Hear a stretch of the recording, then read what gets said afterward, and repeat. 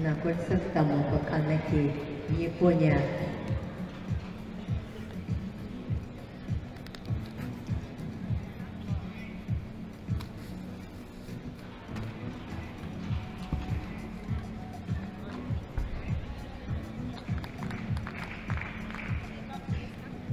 Упражнение на коне готовится выполнить Дмитрий Говоров, Грузия.